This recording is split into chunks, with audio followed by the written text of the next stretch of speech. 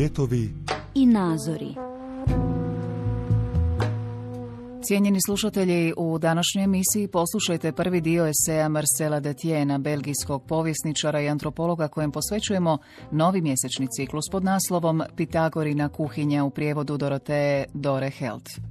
Esej preuzimamo iz njegove kapitalne knjige u Adonisovu vrtu, u kojoj analizira značenje hrane i začina u staroj Grčkoj, ali ne prvenstveno u kulinarskom kontekstu, nego u širem društvenom, političkom i religijskom smislu. U tekstu koji slijedi Datjen se osvrće na pojavu vegetarijanstva unutar pitagorejske tradicije, ali i općenito u ranoj i kasnoj antici.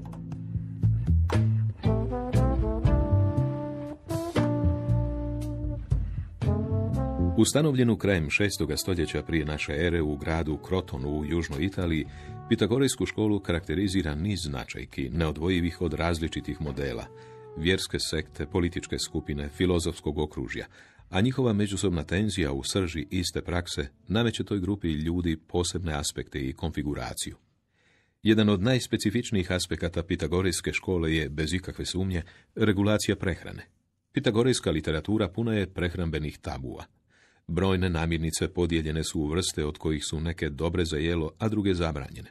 Sve do Plutarhova vremena prehrambena praksa je ta koja omogućava prepoznavanje Pitagorina učenika. Koje je značenje tih pitagorijskih prehrambenih navika? Treba li u njima vidjeti samo brojne obrede bez nužne veze, skup nekonvencionalnih tabua koji su slučajno nabasali u pitagorejsku školu?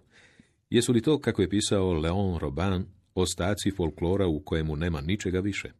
Ne treba li, naprotiv, pokušati definirati duboke razloge koji vode Pitagorejce prema odbijanju jedenja i dodirivanju mesa radnog goveda? Dok se Pitagora hrani substancijama koje taže glad i žeđ, alima i adipsa, a da se njegovi učenici zadovoljavaju s par čistih žitarica. Izbor određene hrane i odbijanje određenih namirnica, zar to nisu komplementarni elementi istoga sustava prehrambenih praksi, čiji se smisao ne može dešifrirati neovisno o socijalnoj skupini koja ih zahtjeva i preuzima u cijeloj svojoj povijesti? Postaviti problem hrane u Pitagorejskoj školi to ne znači formulirati neuobičajeno ili čak dosad neviđeno pitanje. To je najprije bavljenje stvarnim problemom Pitagorejske škole. Stvarnim u tom smislu jer se postavio vrlo rano u povijesti pokreta. Od četvrtog stoljeća prije naše ere pitanje o tome jesu li Pitagora i njegovi učenici jeli ili ne životinsko meso je kontroversno. Kontroverza čak dobiva i oblik neke vrste kontradiktorne rasprave koja suprotstavlja dva najinformiranija povjesničara o pitagorejskoj školi, Timeja Tauromenijskog, sicilijanskog i južnotalijanskog povjesničara i Aristoksena iz Tarenta, muzikologa, pouzdanika i svjedoka jedne od posljednjih pitagorejskih zajednica. Time ju se pripisuje tradicije onog Pitagore koji odbija konzumirati meso i odbija istovremeno krvnu žrtvu. Taj prikaz vegetarijanskog Pitagore doimala se u Timejevu dijelu neodvojiva od poštovanja koje je utemeljitelj sekte imao za delfski Apolonov oltar, na kojem nije mogla biti žrtvovana ni jedna životinska žrtva. Što više, više svjedoka usko povezuje zabranu konzumacije mesa i prakticiranja krvne žrtve – Pitagora, kaže Jamblih, živio je uskraćujući si mesnu hranu i štujući oltare koji nisu bili prekriveni krvlju. Odbijanje konzumacije mesa preuzima zabranu žrtvovanja životinja bogovima spomenutu neposredno prije toga. U istom tekstu. U jednoj sličnoj informaciji Diogena Laertija to više nije pitanje zabrane jedenja mesa, Krvna žrtva je formalno zabranjena uz neku vrstu tjeskobe koju odaje upotreba tehničkog termina sfagija, rezerviranog za situacije u kojima je krv glavni žrtveni dar i namijenjen u tom kontekstu naglašavanju ekvivalencije između žrtvovanja i ubojstva. Važan ulomak istog teksta Diogena potvrdit će i precizirati predođbu da su Pitagorejci odbijali usmrtiti životinju. Mora da je Pitagora zabranio svojim učenicima foneuein, doslovno rečeno počiniti ubojstvo. Odnosno ubojstvo od kojeg učitelj želi odvratiti svoje sljedbenike nije prolijevanje krvi građanina ili roditelja, nego dizanje ruke na životinje koje kao i mi imaju pravo života te koje imaju dušu. Jesti meso to je počinjenje ubojstva, A istovjetno toga je Pitagora shvaćao toliko strogo da je, prepričava Eudoks iz Knida, odbio biti u kontaktu s kuharima i lovcima, koje je smatrao kriminalcima.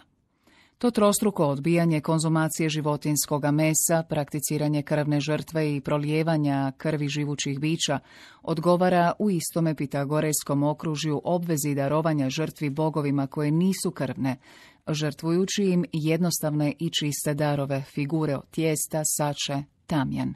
Pitagora potiče žene Krotona da takve darove ručno rade umjesto da štuju bogove smrću i ubojstvom. Istoj vrsti pripadaju ritualni darovi pšenica, ječma, kolača, sačuvani za oltar koji je Pitagora najviše štovao, Apolona u Delhima. To su čiste suprotnosti životinskim i krvnim žrtvama. Timejevom prikazu Pitagore kao vegetarijanca snažno se suprotstavlja slika koju nam o Pitagorejcima daje Aristoksen iz Tarenta. U njegovom opisu načina života posljednjih Pitagorejaca, onih iz Flionta, za koje tvrdi da ih je osobno poznavao, Aristoksen, govoreći o kolektivnim obrocima, precizira narav hrane koju su Pitagorejci zajedno jeli. Na jelovnik glavnog obroka Deipnona, osim vina, kruha od ječma, mazda, pšeničnog kruha arton, začina, opson, kuhanog i sirovog povrća, Aristoksen uključuje i životinsko meso zvano thisima, odnosno one koje mogu biti žrtvovane i konzumirane. Taj apetit Pitagorejaca za meso Aristoksen potvrđuje u više navrata u svojim dijelima, kada opisuje Pitagoru koji se hrani kozlićima i odojcima, kao i kada kaže da je dobrovoljno jeo sve meso, da je odbijao jesti samo ovčetinu i radno govedo.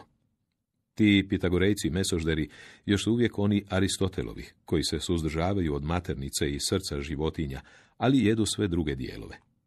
Takvi su također neki učenici koje je uprizorio Plutarh u svojim pitanjima, koji jedu meso posebice prilikom žrtvovanja. To su u konačnici akuzmatički ili politički pitagorejci, kojima Pitagora preporučuje da slave žrtvovanja, ali ne pretjerano, i da nude manje žrtve, nikada ne odabirući govedo. Pre tom dvostrukom tradicijom, pre tom razlikom mišljenja, moderni povjesničari dvoumili su se između ova dva stava. S jedne strane, osuđivanja proturječnosti svjedočenja o pitagorejskoj školi prije četvrtog stoljeća i samim time nalaženja dodatnog razloga za potvrdu našeg radikalnog nepoznavanja prve pitagorejske generacije. S druge strane, diskvalifikacije Aristoksenove verzije, odričući se racionalizma jednog autora koji je mogao falsificirati Pitagoru za svoje suvremenike četvrtog stoljeća, koji je potpuno očišćen od svojih neobičnosti. S prvim i drugim rješenjem ujedno se nikada nije posumnjalo.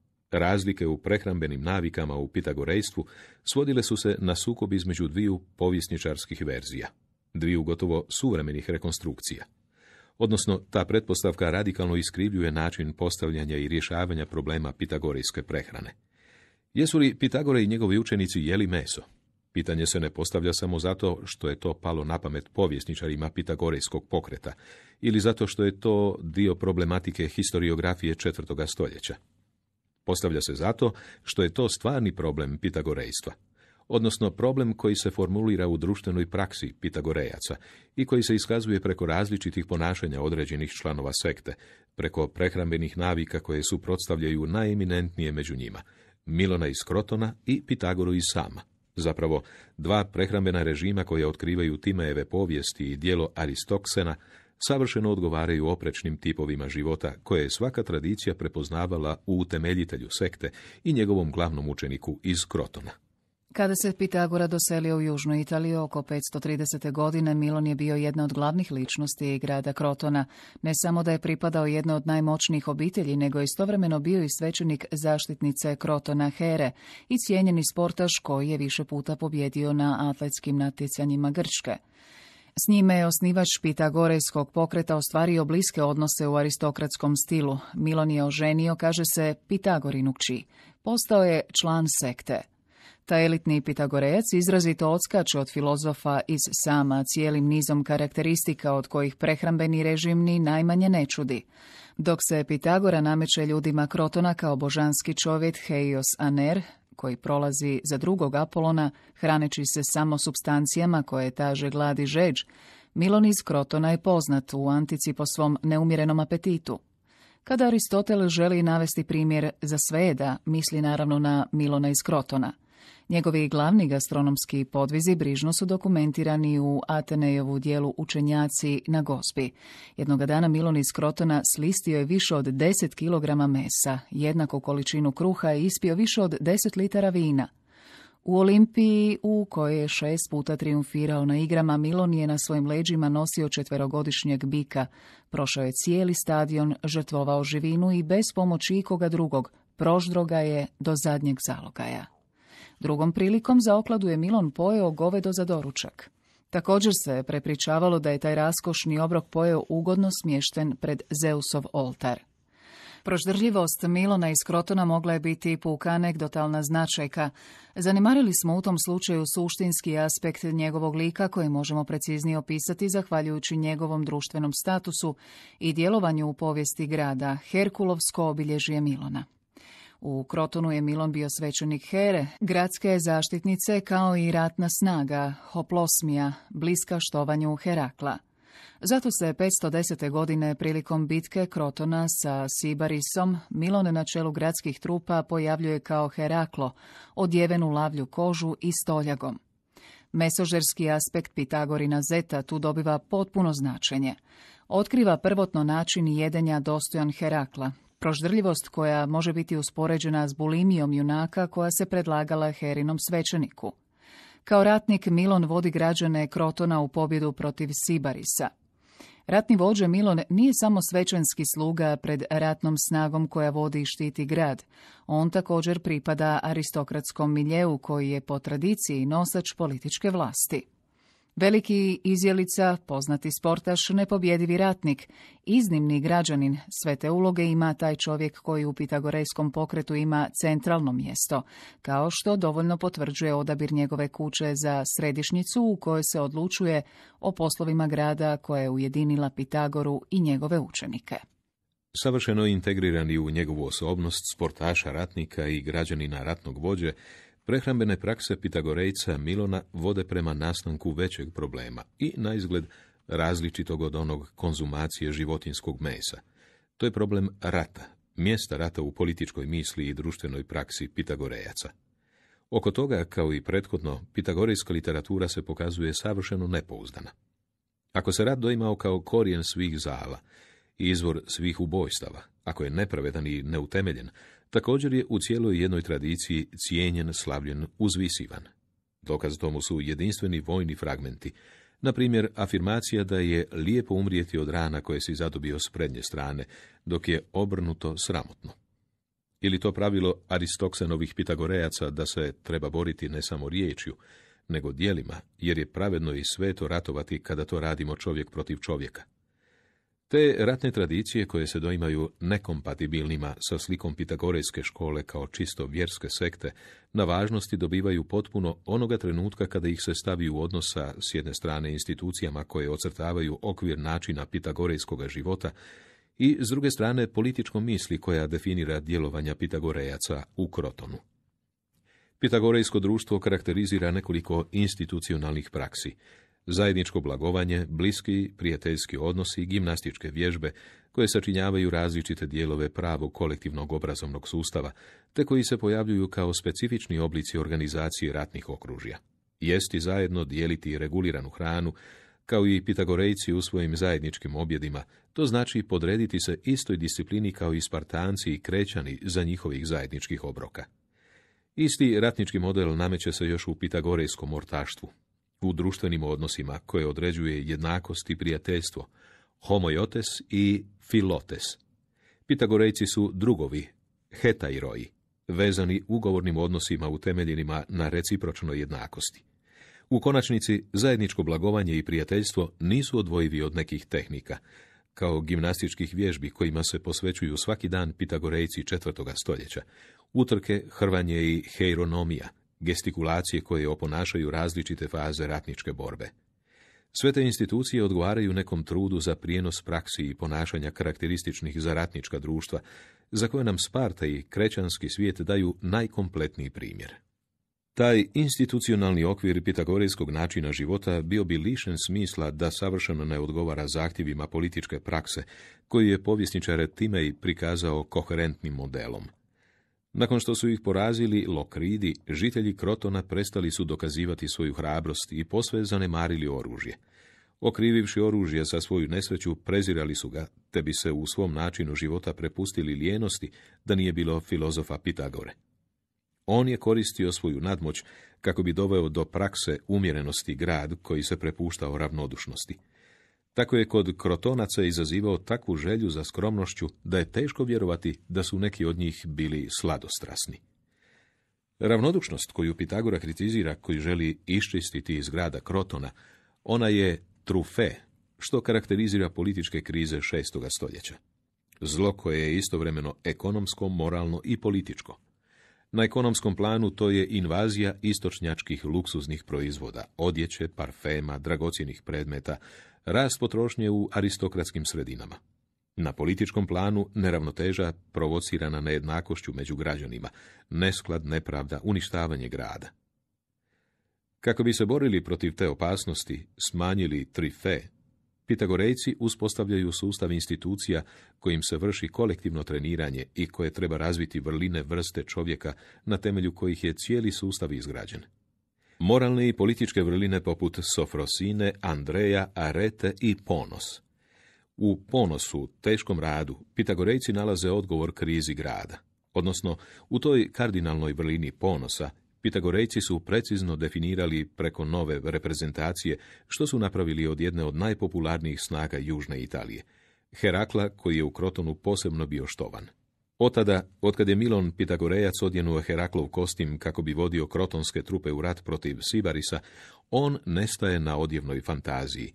On inkarnira primjerne vrline kojima Pitagorijska škola želi pobijediti poroke za koje je Sibaris bio najpotpuniji primjer.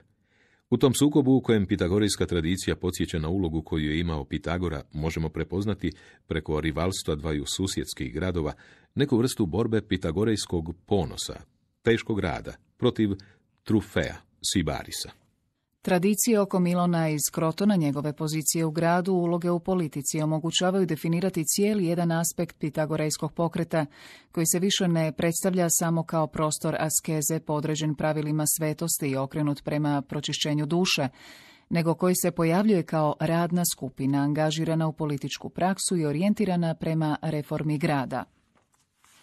Preko opreke ulazi s jedne strane Milon iz Krotona, jedan od glavnih ličnosti grada, sportaš, ratnik, veliki izjelica mesa i s druge strane Pitagora i sama, ekstatični mag, mudrac s iskustvom u pročišćivanju, božanski čovjek koji više ne pati ni od gladi ni žeđi, a preko ta dva tipa ponašanja otkrivamo dvije orijentacije pitagorejske škole koje se doimaju proturječnima, ali koje su izrazito komplementarne – zahtjev individualnog zdravlja i volja za reformiranjem grada.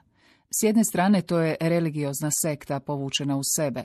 To je 300 pitagorejaca koji žive na margini društva i grada.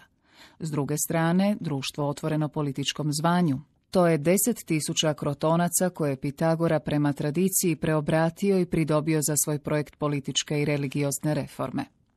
Idemo prema zaključku ove analize. Pitagorejac mesožder nije manje stvaran od Pitagorejca vegetarijanca. Dvije su protstavljene prehrambene prakse zapravo čine dva pola pitagorejskog načina života. Što zapravo znači odbijanje mesne hrane ili naprotiv prihvaćanje jedenja mesa? Možemo li se zadovoljiti viđenjem vegetarijanstva kao logičnu posljedicu teorije metensomatoze, koju su neki pitagorejci manje prihvatili od drugih? Tradicije četvrtog stoljeća o kojima smo prethodno govorili već nas odvraćaju od takvog objašnjenja. Zapravo, vokabular koji se koristi u pitagorejskim tekstovima jasno pokazuje da se iza pitanja mesne prehrane postavlja problem, velik prema mjestu koje zauzima u socioreligioznom sustavu Grka, problem krvne žrtve. Velika je velika zasluga Darija Sabatučija što je prepoznao važnost vegetarijanskih sektaških praksi, dok je većina povjesničara bila zadovoljna objašnjavanjem da se mesna prehrana odbijala, jer su se poštivali svi oblici života u sektama. Sabatučiji, kojeg nije zavarao ideološki sadržaj tog tradicionalnog objašnjenja, snažno je pokazao da su religiozna praksa sekti i ritualna praksa grada dva uvjeta alternative.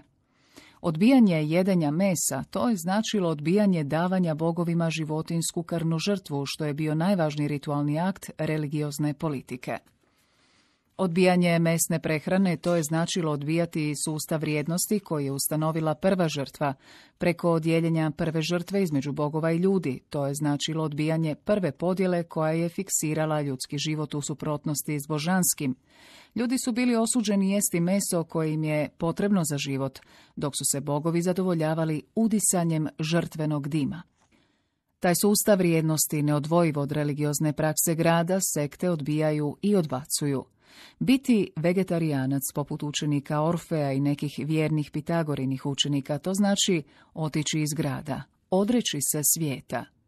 U toj perspektivi iznimni interes Pitagorejskog pokreta počiva u njegovoj privilegiji da zaključi dva uvjeta alternative – Suprotstavljene prehrambene prakse koje tradicija pripisuje učenicima od Pitagore doimaju se savršeno ekvivalentnima na planu prehrane, dvama tipovima praksi koji su nam se pojavili kako bi doveli u ravnotežu društvenu praksu Pitagorejaca. Ako sustav prehrane u Pitagorejskoj školi postoji, vrlo je vjerojatno da prehrambena kontradikcija od koje smo krenuli tu igra glavnu ulogu – Možemo također od sada formulirati hipotezu da je takav sustav prehrane uvelike konstruiran na opoziciji između mesne hrane i nemesne hrane. Kako se zapravo predstavlja taj sustav? Koje su njegove glavne karakteristike? Cijeli jedan prvi dio prehrane Pitagorejaca temelji se na odbijanju ubijanja, žrtvovanja i jedenja životinja, trostruko odbijanje koje prenosi isto takvo odbijanje žrtvenog mesa. To je početna točka niza prehrambenih postupaka, odgovarajući na zahtjev prehrane koja ne stvara nepremostivu distancu između ljudi i bogova, nego koja želi uspostaviti na različite načine autentično zajedništvo između bogova i ljudi, stvarno blagovanje, kako kažu Pitagorejci. Glavni načini jedenja s bogovima ili poput njih mogu se prepoznati u sastavu žrtvi, tako reći čistih, koje prakticiraju svaki dan članovi reda. Kanonski darovi Daju se u čistim žitaricama i aromatičnim biljkama. Za potonje timjan i smirna, za prve pšenica, ječam, proso ili nadalje brašno od ječma i kolači od tijesta. Žitarice se polažu na oltar, a da se ne spale, dok se aromatične biljke spale. Te dvije vrste darova u žrtvenoj praksi nemaju pravo značenje, osim ako su unutar skupa mitskih predođbi usredotočenih istovremeno na hranu za Pitagoru i na primjernu žrtvu koju je filozofi sama morao ponuditi Apolonu. Postojao je zapravo u Delfima Apolonov oltar i na njemu je bilo zabranjeno darivati životinske žrtve. Tu je Pitagora, kaže se, ostavljao ječam, pšenicu i kolače, darove koje je napravio u skladu s ritualom Apolona. Ti darovi koje se ostavljalo na apolonskom oltaru nisu bili samo jednostavni i prirodni proizvodi. Izražavali su se u tom delskom ritualu kao sjećanja na vrste primitivne hrane. Plutarh, koji nam je dao te informacije, pridodaje da se osim pšenice, ječma i kolača, Apolon darivao sljezom i čepljezom, dvema biljkama u kojima su pitagorejci, to znamo, također prepoznavali iznimnu vrlinu primitivne hrane. Sve tradicije povezane s Apolonom pokazuju jasno da je riječ o snazi koja velikodušno daje plodove zemlje. Apolon je opskrbitelj voćem. Mi to enotropima ilustrira nam te prehrambene velikodušnosti. Sin Apolona, Anios mitski, je kralj čije tri kćeri imaju privilegiju da njihovom voljom mogu rasti biljke u prirodi. Ojno daje vino, spermo žitarice, elais ulje. To su snage zlatnoga doba, božanstva koje osiguravaju ljudima, bez truda, obilatost hrane spremne za konzumaciju. Kao enotrope, Apolon vodi zlatno razdoblje čovječanstva. On je jamac prvoga kultiviranog života, kada je zemlja davala ljudima spontane proizvode. Nudila im prirodno voće, koje su sami iz sebe rasli, bez intervencije neke tehnike poput agrikulture, ne zahtijevajući od ljudi ni trud ni rad, nema sumnje da nam se ti proizvodi tog zlatnog razdoblja, žitarice poput pšenice i ječma, biljke poput sljeza i čepljeza, mogu doimati kao prehrana dva različita tipa, kultivirane biljke s jedne strane, divlje biljke s druge. U mitskoj misli, koje te delske tradicije svjedoče, to su ipak proizvodi iste prilike. Kao što su sljez i čepljez, pšenica i ječam spontani proizvodi zemlje, savršeno kuhane hrane koje ljudi mogu konzumirati izravno, ne izlažući ih vatri. Pitagorejcima ritualni darovi Apolonu imali su vrijednost paradigme. Predstavljali su hranu koju su ljudi nekoć konzumirali jednako kao i bogovi. Očito je da u vrijeme grada i radnog goveda žitarice nisu mogle posve sačuvati status prirodnog proizvoda zlatnog doba i zajedničke hrane bogova i ljudi. Slijezi i čepljez su igrali u pitagorejskoj misli ulogu savršene hrane. Zapravo, te dvije biljke koje su jestive u divljem stanju interveniraju bitnim dijelom u kompoziciji alima i adipsa, namirnica kojima se utaži glad i žeđ, superhrani koju ekstatični magovi kao Pitagora, Epimenid i Abaris imaju privilegiju konzumirati. U slučaju Epimenida, odbijanje da jedeš kao i ostali ljudi ide zajedno s potrebom da se jede kao što jedu i bogovi. Svakoga dana slavni čistač jeo je neku vrstu pilule koja bi mu utažila žeđ i glad. Odnosno, ta začuđujuća prehrana sastojala se od mješavine sljeza i čepljeza, biljaka kojima je Epimenid otkrio izvanredna svojstva, pomažući, kako je i Pitagora napravio, žrtvovanje u čast Apolona. U pitagorejskoj tradiciji isti ti Alima i Adipsa pojavljuju se kao zamjene ljudskoj hrani koje su otkrili bogovi. Demetra, majka zemlja, izmislila ih je kako bi omogućila Heraklu da prijeđe pustinju i dosegne Libiju. Priprema tih substanci ovaj put se doimala kompleksnijom. Traži različite vrste sjemena, mak, sezam, krastavac i tako dalje. Žitarice, ječam i pšenica, domaći sir. No, listovi slijeza i čepljeza tu također interveniraju u kompoziciji hrane koja utažava glad i žeđ. Pitagora se njima hranio, posebice za vrijeme dugih boravaka s bogovima u jazbinama i pećinama. U pitagorejskoj prehrani slijezi čepljez sa žitaricama zajedno definiraju prvi aspekt umjetnosti hranjenja poput bogova, odakle se kombinira više religioznih prikaza iz zlatnoga doba. Vrste primitivne hrane te dvije biljke spontani su proizvodi zemlje koji se stavljaju na Apolonov oltar u najčišćoj od žrtvi i koje konzumiraju božanski ljudi, koje način njihova života vodi do pronalaska zlatnoga doba.